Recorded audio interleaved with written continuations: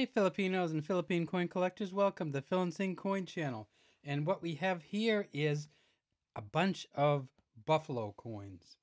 And of course the one at the top is the small buffalo and the Anoa mindorensis. And this buffalo is actually called a Tamaraw or a Mindoro dwarf buffalo and it comes right now from the island of Mindoro in the Philippines. Apparently it used to be on the island of Luzon, but they are relatively endangered and very cool animals.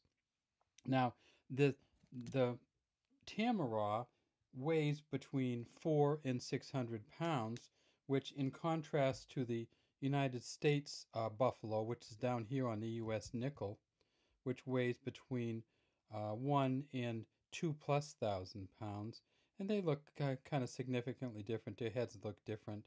Uh, their fur looks different.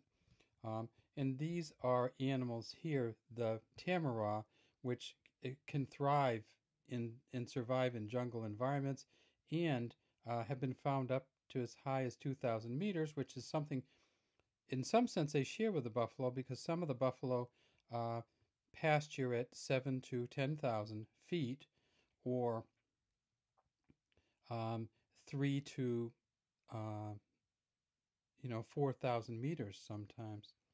Three, three to 4,000 meters. Well, maybe not. Yeah, three to 4,000 meters at some points. So, what's going on here? Well, what we're going to look at is the 1985s here. And we have three from 1985. And these all are Jose Rizal. And so you can see right underneath here, if we magnify it, it says Jose Rizal. And these coins wear at much different rates per coin. So you can see the Jose Rizal is very, very clear there. The BSP um, insignia from the Banco Central Pilipinas here, and then down here. And then, of course, it says Republika ng Pilipinas here.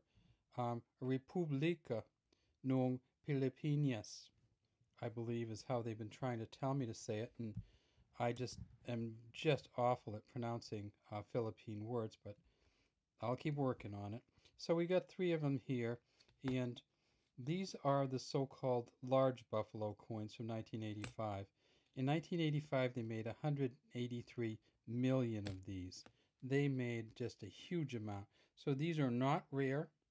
They're not expensive. They're easy to find. In the U.S., they go for about one quarter of a dollar in the US.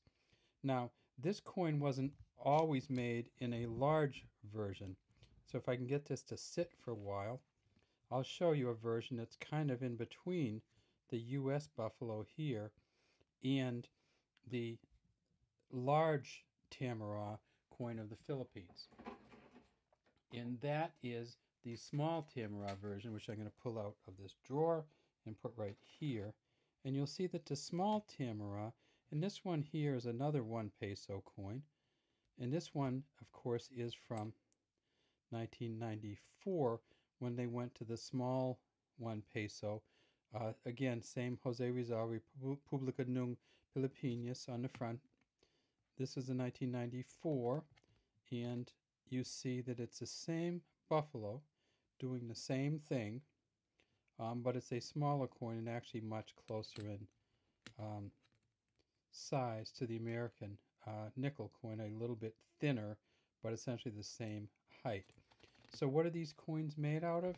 Well, if we look at these, even the large and the small ones are both made out of the same materials, and that is a copper nickel coin. They weigh 9.5 grams 29 millimeters in diameter and 1.9 millimeters in thickness. The Tamaraw or Mindoro buffalo or dwarf buffalo is only on these two coins. And in fact, they didn't make them many years. The big one, the large buffalo, they only made it between 1983 and 1990. And uh, then they went to the small buffalo in 1991.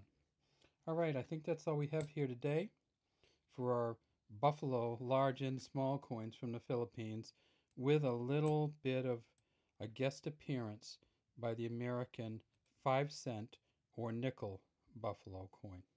Have a great day, and we'd love to have you subscribe to our Phil and Sing coin channel.